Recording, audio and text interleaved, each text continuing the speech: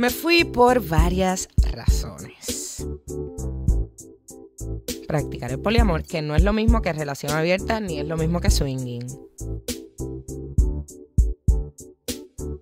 Igual hay gente que no, escandalizadas. Bienvenidos a Entre las Tetas. Welcome to Entre las Tetas. Bueno, aquí no hay restricción alguna, me encanta. Ustedes son bien permisivas. Yes, ok, me gusta.